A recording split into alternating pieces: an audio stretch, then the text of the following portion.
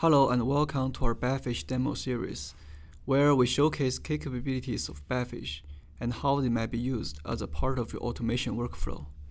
My name is Yifei, and I will show you how to analyze the impact of failures using Batfish. Unexpected failures and planned maintenance that brings down nodes or interfaces occur frequently in the network. While most networks are designed to be tolerant to such failures, Gaining confidence that they are in fact fault tolerant is difficult. Today, network engineers often reason about network behavior under failures manually, which is a complex and error-prone task. Consequently, the network could be one link failure away from an outage that leads to a massive loss of revenue and reputation. For those reasons, it is crucial to analyze the impact of failures and identify potential vulnerabilities in the network before they happen in production. This video will show you how Batfish makes it easy to perform this analysis. With Batfish, you can proactively analyze the network behavior under a range of failures based just on the device configurations. And you can even enable advanced testing approaches such as chaos monkey style testing to identify vulnerabilities. This analysis will help you gain unprecedented confidence on the fault tolerance of a network. Let's get started. In this video, we consider a network with three S's that are connected with eBGP. Within each S, iBGP and OSPF are used.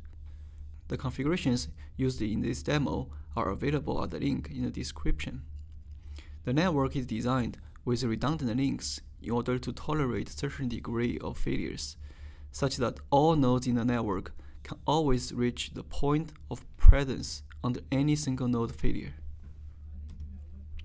First, let's initialize the network in Batfish using the folder where the configuration files sit and the name we would like for the snapshot.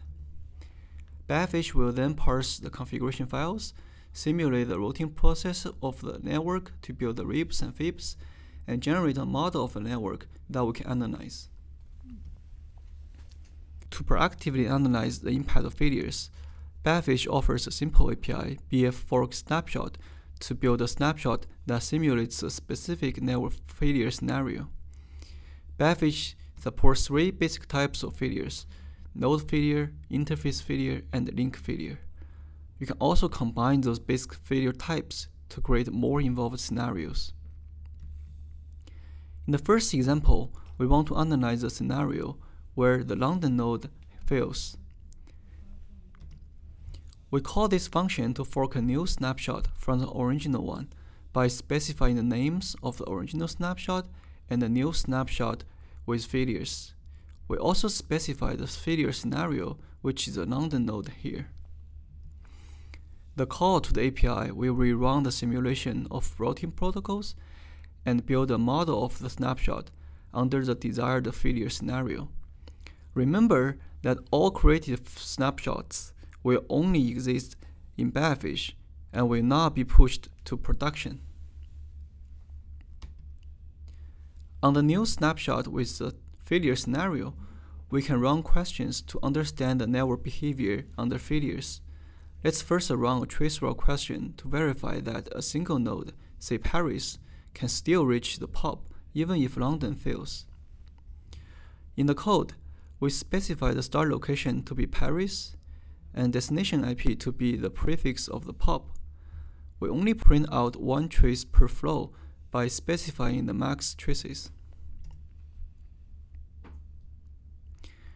The output of a traceroute question includes flows from Paris to the POP, the traces each flow traverses, and the total number of traces for that flow.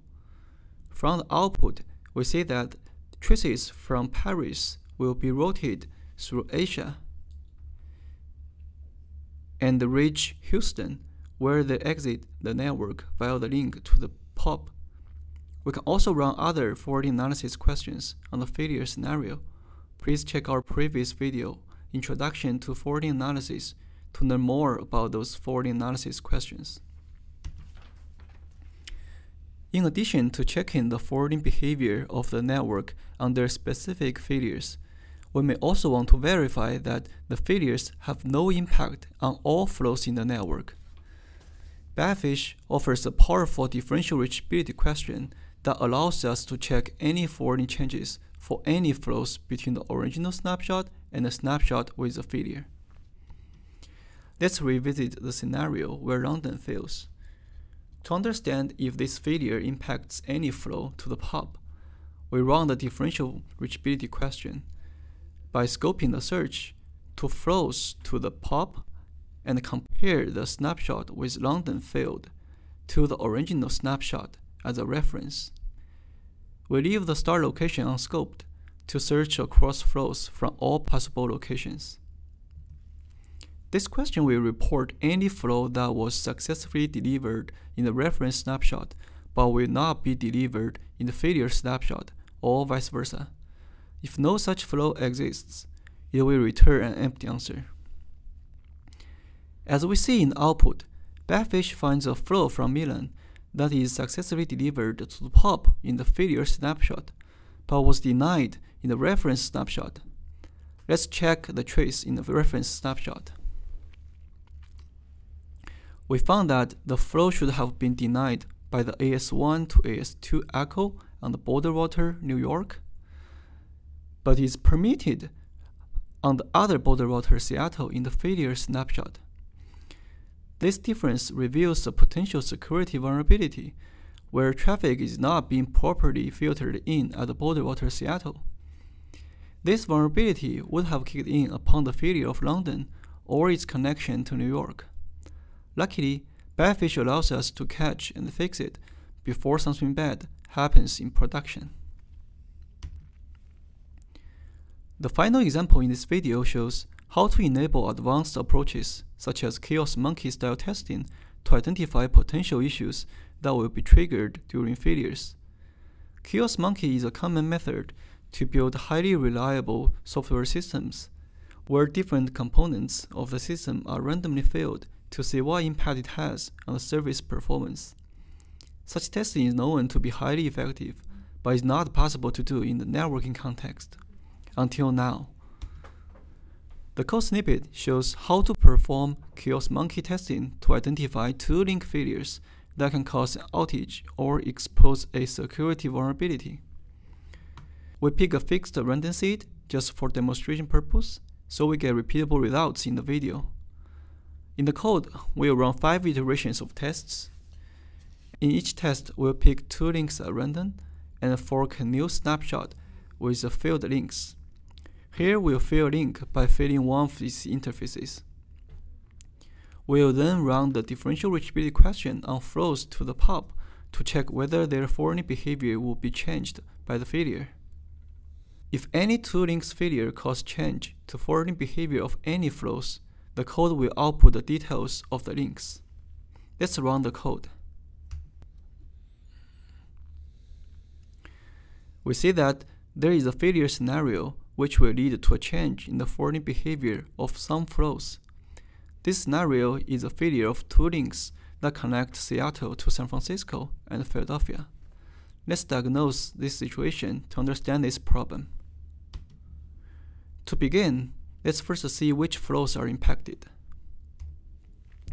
We see that when the links fail, the node Hong Kong loses connectivity to the POP in US. And similarly, for Seattle, Singapore, and Tokyo. Given the network topology, this is quite surprising because after those failures, we would have expected Asia to be able to reach US via Europe. To further investigate the root cause, we ask Batfish to show how the routing tables differ in the two cases. We do so using the routes question and comparing the two snapshots as in the differential reachability question. We focus on the impacted destination prefix and BGP routes.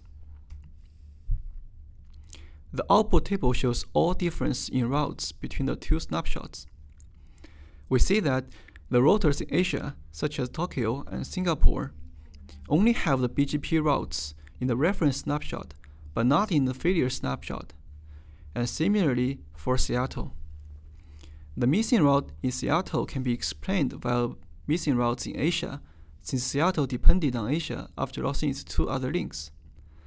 Routers in Europe do not show up in the table, which means that Europe still has the routes after failure.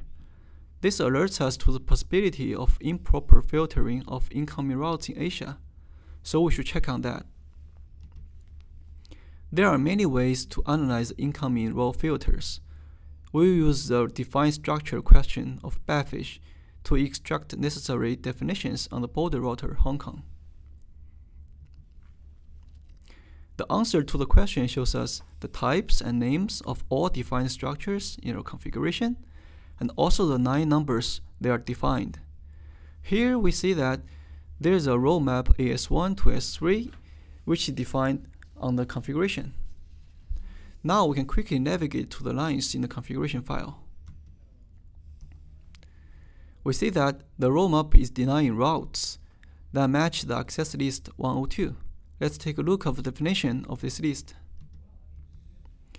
We find that this list includes the prefix of interest on the last line. Thus, the route map inadvertently blocks the prefix and disconnects Asia from US when Seattle or its links fail. Without Batfish, it would have been hard to find this vulnerability, but the Chaos Monkey style testing enabled by Batfish makes it easy to find such vulnerabilities before they cause a service outage. To summarize, this video demonstrates how Batfish help analyze forwarding behavior in network failures. We see that BF fork snapshot can create a snapshot from another with a failure scenario involving interfaces, links, and nodes. Differential reachability can reveal all forwarding behavior changes for all flows between two snapshots. Finally, we can build on top of the basic functions to create more involved analysis, such as Chaos Monkey testing. Thanks for watching this demo about how to analyze impact of failures using Batfish. And don't forget to join our community on Slack or GitHub. Goodbye and take care.